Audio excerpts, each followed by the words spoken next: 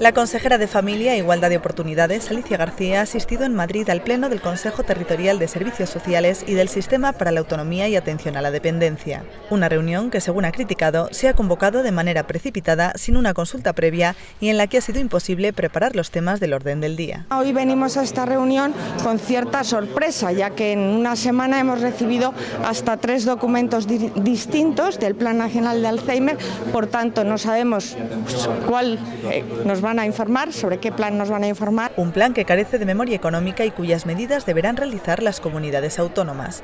Otro tema a tratar es el Plan Integral para la Violencia Infantil. Que es una ley que empezó y que trabajó el anterior gobierno de España, del Partido Popular.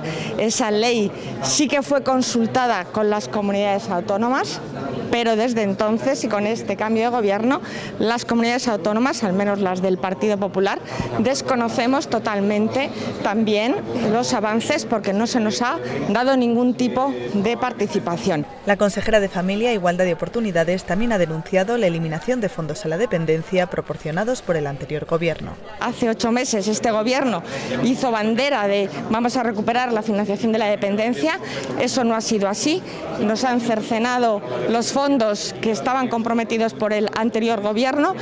Nos han quitado 9 millones de euros que esta comunidad autónoma iba a recibir y 9 millones de euros que iban a ir a financiar a los dependientes de Castilla y León. Múltiples reivindicaciones que Alicia García ha planteado en el primer pleno del Consejo Territorial de Servicios Sociales convocado por la ministra tras su toma de posesión hace ya seis meses.